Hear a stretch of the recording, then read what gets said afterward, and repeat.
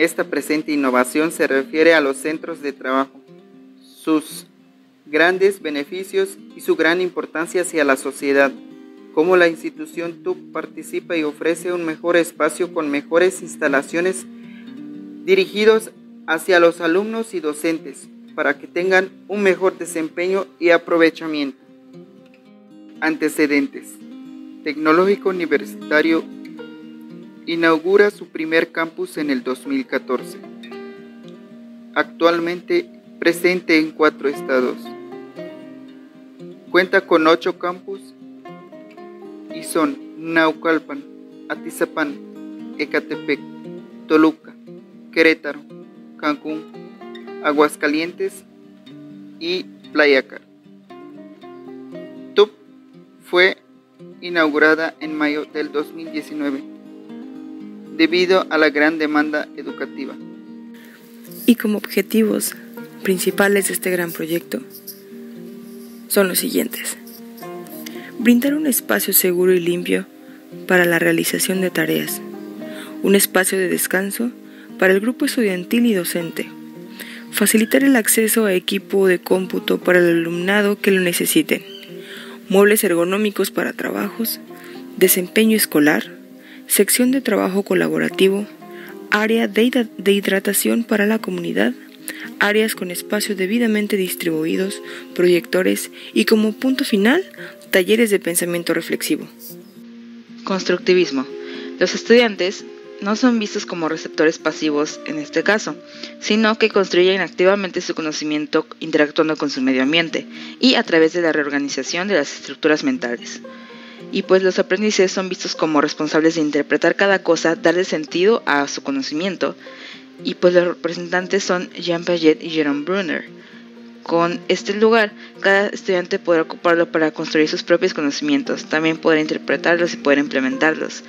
Este centro de trabajo tendrá lugar y la finalidad de ofrecer un ambiente agradable, de comodidad, para que todos puedan acceder a él y poder trabajar con total tranquilidad. De ahí tenemos al constructivismo social.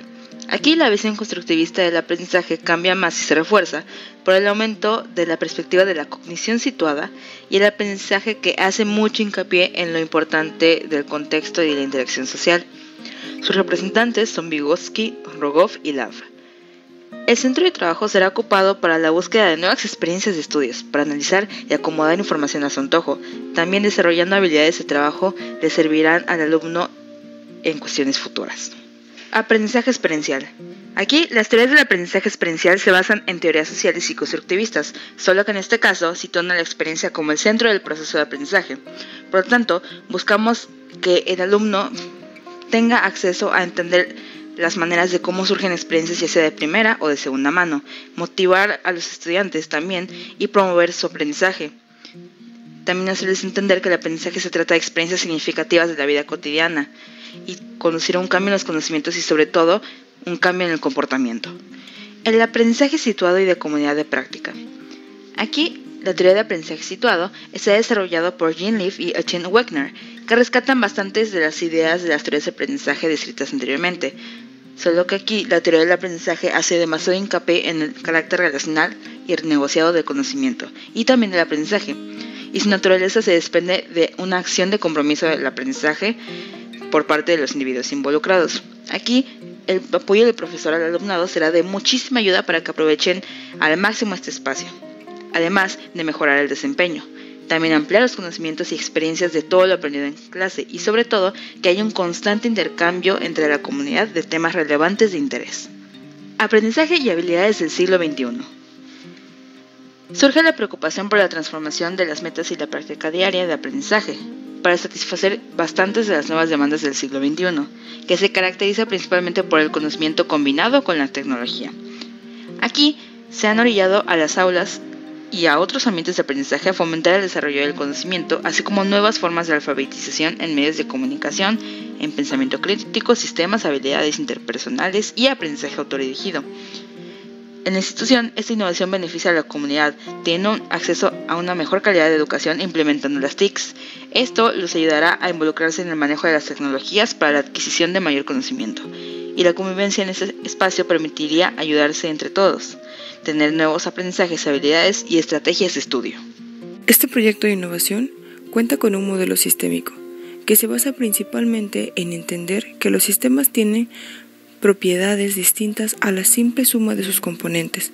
Un sistema en un todo organizado compuesto de elementos que interaccionan de una manera determinada. La perspectiva sistemática tiene muchas aplicaciones en diversos campos de la ciencia, como son las matemáticas, la biología, la física, la química, la educación, la sociología o la psicología, entre otros. Con el modelo sistémico, el cual pertenece se pretende que la institución como el alumnado y el cuerpo docente trabajen de forma unísono, de forma continua, en busca de una transformación, de llevar a cabo la innovación a su máximo nivel. Medios y recursos. En primer punto tenemos el sistema, en el cual la institución fue la encargada de gestionar los trámites legales para llevar a cabo la construcción. Para esto se tuvo que solicitar un permiso en protección civil. En segundo punto se encuentra la zona, región y municipio. La zona se encuentra en el sureste del país. La región es Quintana Roo y el municipio es Solidaridad, en la cual la protección civil del municipio visitó la institución para otorgar la entrega de la autorización y dar inicio a la construcción. Tercer punto, plantel y directivo. El espacio para llevar a cabo la construcción fue asignada por el directivo del plantel, el cual apoyó hacer todos los papeleos para llevarlo a la administración directiva.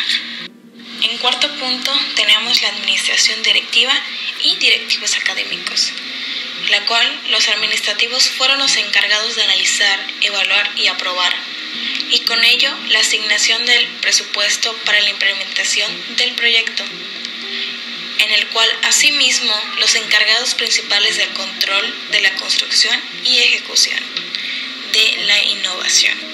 Y en quinto punto tenemos a los docentes, ya que ellos forman parte clave del funcionamiento de la institución, porque ya que sin ellos no sería posible la transmisión de conocimientos.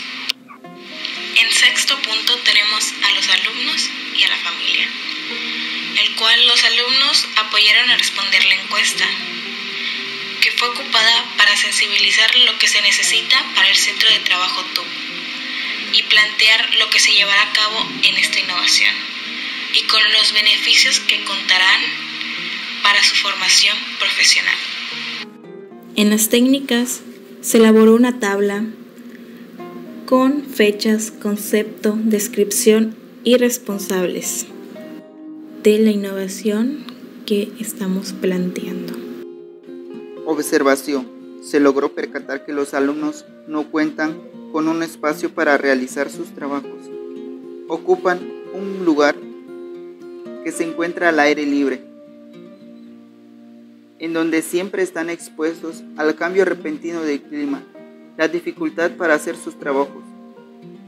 Este espacio se ubica enfrente de la institución y solamente cuenta con dos mesas y lo máximo que se pudo observar unas 20 sillas, tomando en cuenta que actualmente el campus cuenta con 1723 alumnos.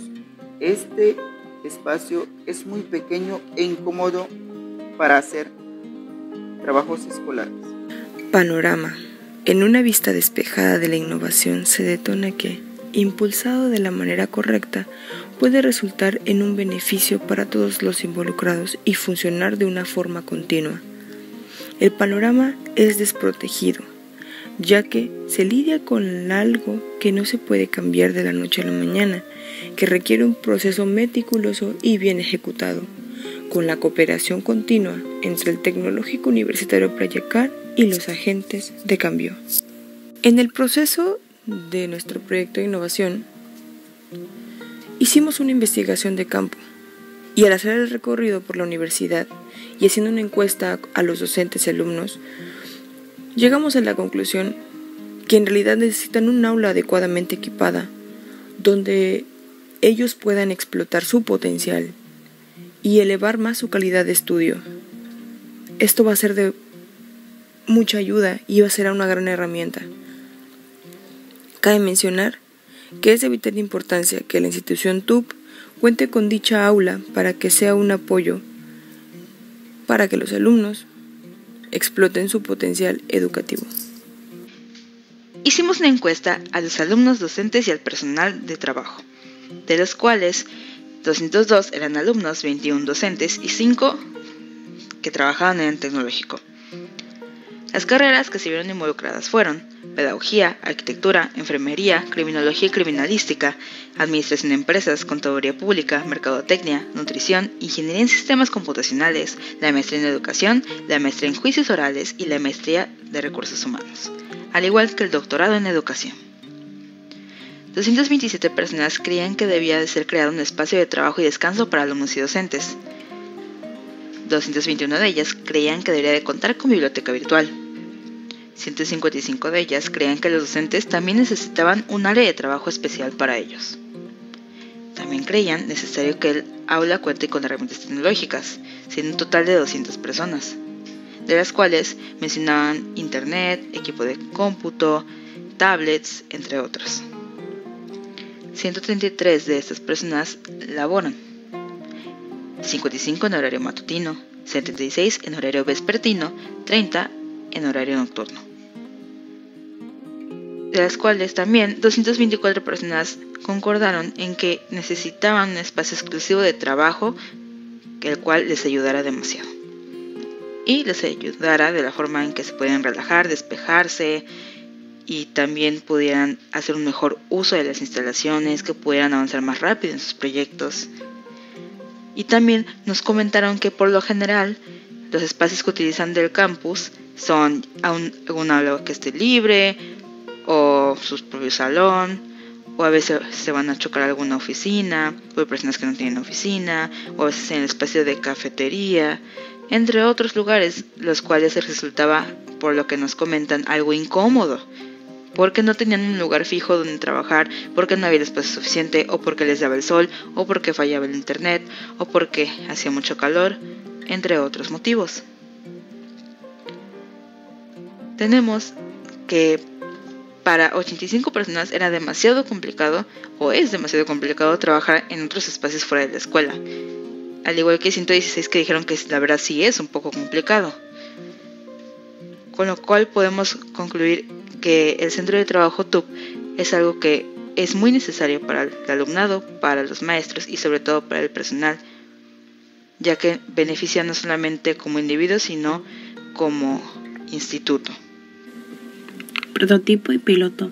Nuestro primer prototipo fue un primer boceto como dibujo para mostrar el cómo será la estructura del centro de trabajo TUP.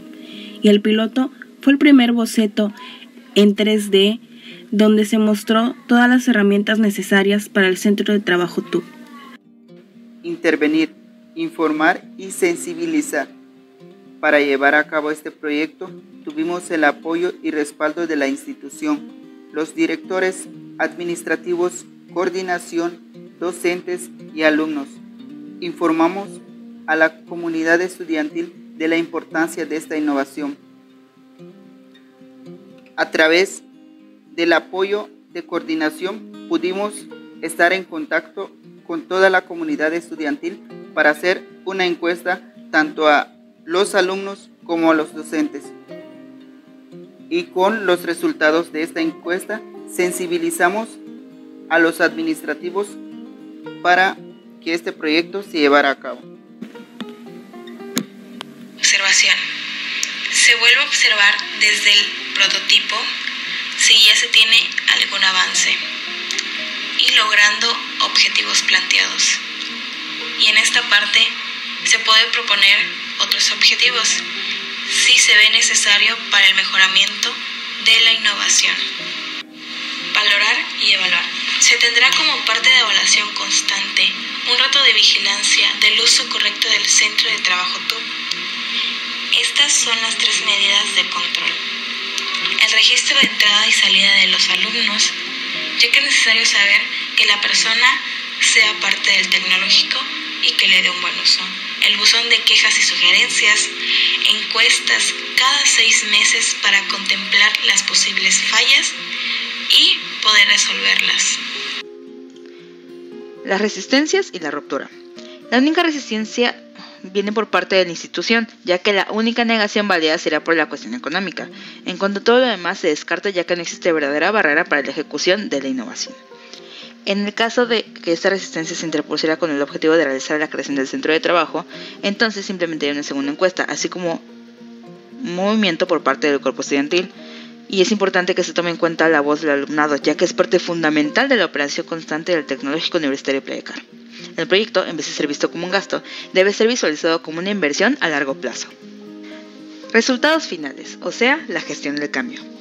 Al finalizar la construcción del centro de trabajo TUP, se llevó a cabo la inauguración, a lo cual su cometido final tuvo una respuesta bastante positiva, ya que los alumnos hicieron un buen uso del aula y pudieron llevar un mayor control respecto a sus actividades escolares.